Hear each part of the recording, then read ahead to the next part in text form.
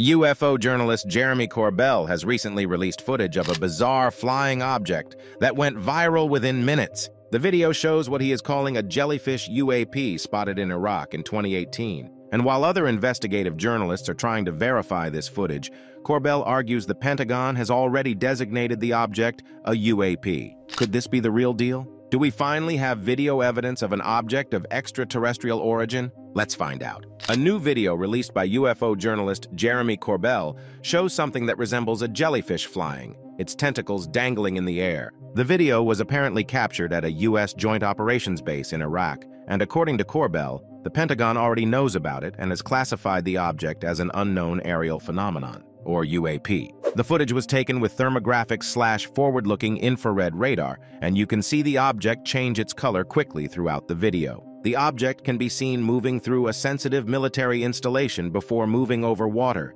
beginning what Corbell describes as a controlled descent before submerging. However, this is not the complete video because the object re-emerged from the water 17 minutes later, only to disappear at startling speed. According to those familiar with the complete footage or who witnessed the event themselves, this object was not observable with night vision. It appeared to jam the targeting capability of the optical platform. The UAP displayed a positive lift without any apparent means of lift or thrust and didn't exhibit any signatures of propulsion. The object looks unlike anything anyone has seen before, and its shape completely contradicts everything we know about UFOs. It is neither disc-shaped nor triangular. In fact, it has no observable shape besides the fact that it looks like a jellyfish. How can authorities explain this object? When a professor of physics at the University of Albany, Dr. Matthew Szydagis, first saw this footage of an alleged UAP in Iraq, it reminded him of a pop culture icon, a Star Wars droid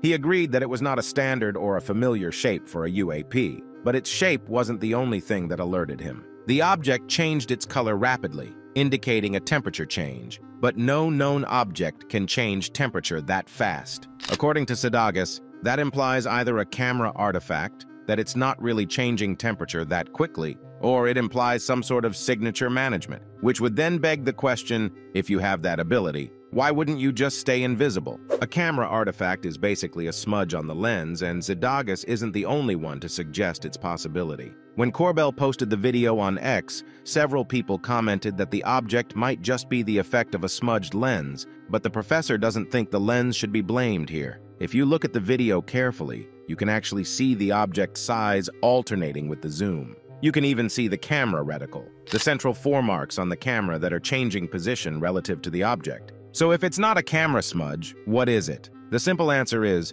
no one knows. This video was captured in Iraq in 2018, making it almost six years old. Surely the Pentagon would know by now what unusual object was moving over its military installation, but so far, the Pentagon is quiet, and news channels have not received a comment from them on Corbell's leaked footage. What do you think the object is? Is it an extraterrestrial floating through a U.S. military base? Or does the object have a less sensational explanation? This isn't the first time Jeremy Corbell shocked everyone with leaked footage of bizarre UAPs. A few months ago, he released footage showing what appeared to be a spherical object floating in the air above the ocean, as it was observed by U.S. Navy sailors aboard the USS Omaha in July 2019. That video was recorded around the same time in July 2019 when several naval warships, including the USS Omaha, were conducting exercises off the coast of California. The military ships had been reporting drone-like objects tailing them at night, but no one was sure what they were. The footage showed a sphere-like object flying near the USS Omaha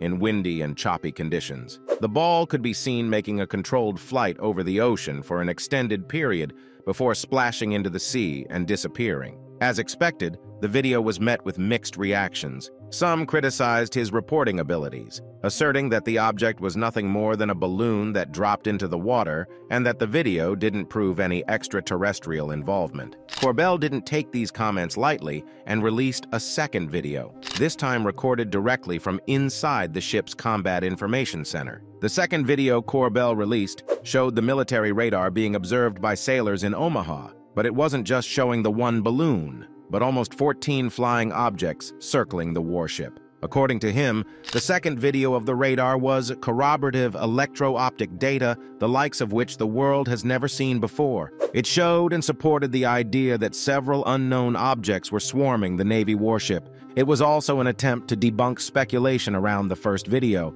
where spectators suggested that the object was a fake or a balloon that dropped in the ocean. In 2019, he shared an 18-second clip showing three UFOs hovering over the USS Russell, later confirmed as authentic by the Navy. Multiple UAP sightings have been reported at U.S. military bases, but the Pentagon has repeatedly maintained that there isn't enough evidence to suggest any of the objects were extraterrestrials. One of the more recent sightings was in 29 Palms, California, in April 2021. That story was also revealed by Jeremy Corbell. 29 Palms Base is one of the largest military bases on planet Earth. It is a marine base spanning nearly 1,200 square miles, and its combat center is hailed as the largest Marine Corps base in the world. In 2021, Corbell received a tip that something had happened at the Palms base and that people may have photographed or filmed the event. In the next 36 hours, he was able to track over 50 witnesses who claimed they saw a triangular-shaped craft hovering over the base.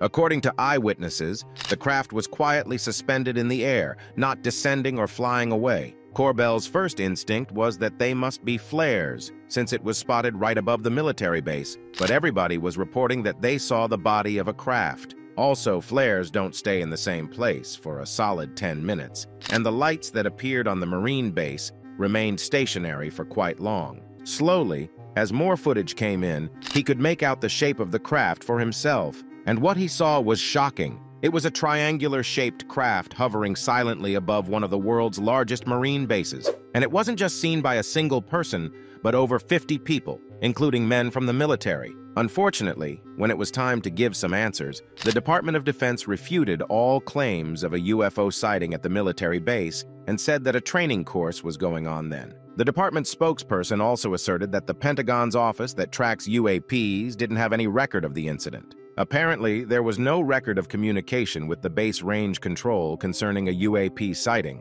and no base resources had been allocated to investigate a UAP sighting. The explanation sounds rational, but if there was a training course going on at the time, everyone on the base would have known about it, meaning they wouldn't have been surprised by an airborne craft suddenly appearing out of nowhere. But their surprised reaction to the uninvited aerial guest suggested that no training course was being carried out then. Why do you think the U.S. government continues to deny the connection between UAPs and extraterrestrials, especially when they have accepted that many of these UAPs cannot be explained? What do you think about this recently leaked footage of the jellyfish UAP? Is it something out of this world, or could it have a mundane explanation? Also, how do you think the government will get out of this sticky situation? Hit the like button, subscribe to our channel, and press the notification for more videos.